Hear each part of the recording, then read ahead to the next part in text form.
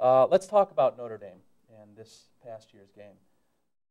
You take a number one ranking and a 27 game winning streak into South Bend for one of the most anticipated matchups in the rivalry in, uh, in many years. It's a perfect autumn day. Sky is blue, the grass is green and, and tall and very high. And very high. The Irish storm out of the locker room in those green jerseys. The place is absolutely electric. Can you share some of your memories of that game with us? Yeah, it was it was a great build-up to a great college matchup. And uh, the day before the game, when we went to the stadium, we, we have a tradition that we go and see the locker room and go on the practice on the field and throw the ball around a little bit and, and uh, then get out of there. So we feel familiar with the setting. And uh, when the buses were driving, you know, we're in South Bend and we get onto campus, you could there was just people everywhere. It was the, the campus was flooded, which is historic for them. Standard, everybody you know walks the campus and the grotto and all of that. And uh, as we came around the, the, the, stadium and the buses pulled up, there was thousands of people there. You know, it, kids mostly, mostly young people, and they were just rabid. You know, they were so jacked up. And This was the night before the big rally and all the kind of stuff that you know that builds up. They to filled the stadium in the rally. Yeah, and the uh, um, it was the day of the, that rally, and, and uh, as we got off the bus, you know, we, we, single file, we had to serpentine our way through the crowd, you know, and they're kind of jabbing at us. It was just, and our guys loved it.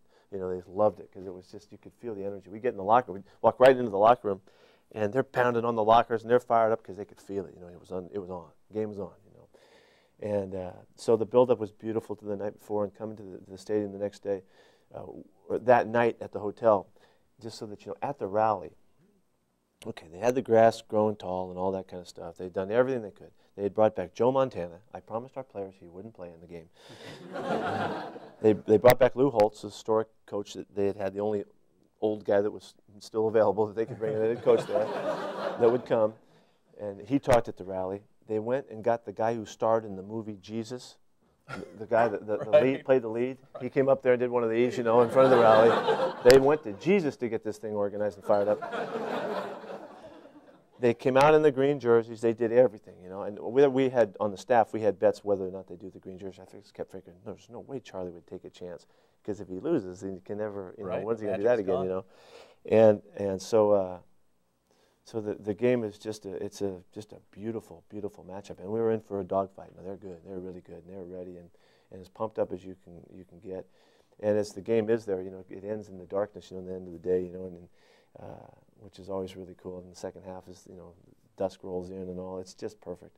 It was as packed as it could be. Our fans were all jammed down in the corner, and they were screaming like crazy, but they just couldn't match, the, you know, the, the Notre Dame faithful.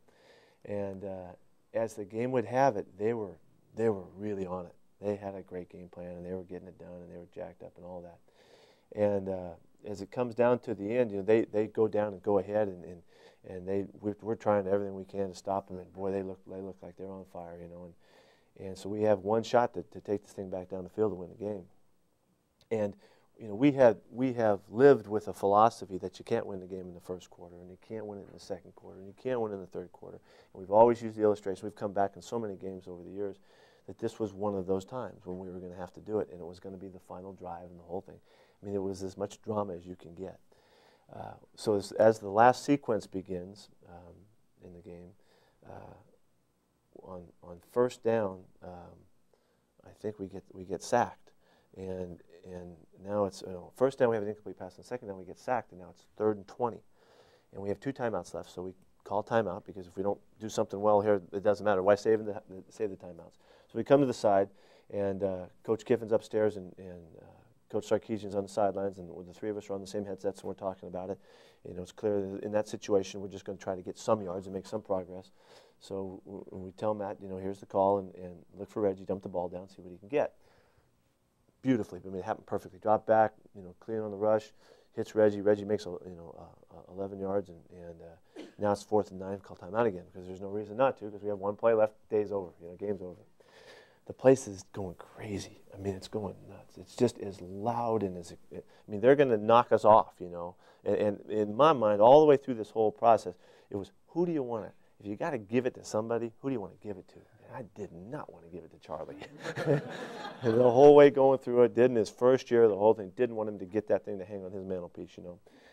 And here it is down the fourth down, and, and so the conversation, we're all very clear about it. Everybody else, probably Dave here is going nuts, and everybody's going crazy, but we were very clear, you know, in, in our conversation, and the, the, the thought was that we, you know, we had a play that we were, we were calling, and, uh, and just as Matt, okay, here, here's what we're going with, and, uh, and Lane said, Coach Kiffin said, remind them that if they give us the blitz look, you know, go to the audible. And so Sark tells Matt, Matt goes, okay, you know, goes the line, you know, goes, calls the play, goes to the line of scrimmage.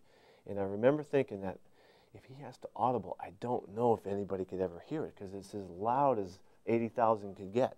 I mean, what more could they ever want? you know, they got it all down to one play.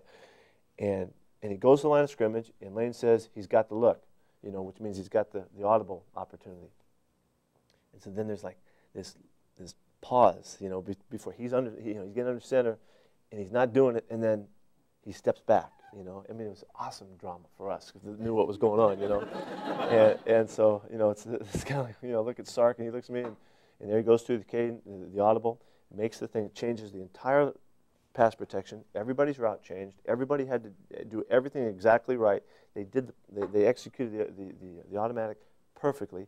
He sets back, throws the ball to our best guy, and hits this historic, you know, 60-yard play down, you know, and that, that moment is just such an awesome moment when it happens. And I, and I can imagine everybody else going crazy, but we got to go, we ain't done yet, you know, because we want to see him score, but he got tackled. and so, you know, and, and, he gets pulled down. And so we go right to the, right to the next sequence, you know, and, and uh, um, as it turned out, Matt made a terrible decision to scramble with the clock running out. And fortunately, he gets hit and the ball goes out of bounds and, and the clock gets stopped. And, uh, and the place is going crazy because they think you know they think that they won in the, in the whole thing right there, and uh, out of nowhere the, the, the, the angel in stripes, which they never do. This official comes running down the sideline and says, "The ball went out on on the three yard line, and it's your ball." You know, and so I knew what happened. In all of the craziness, I knew what happened. You know, so I everybody else was going nuts. I didn't feel like we lost or anything because it seemed like just almost instantly he, he gave me the word of what happened. So we went right into what, what our next opportunities were.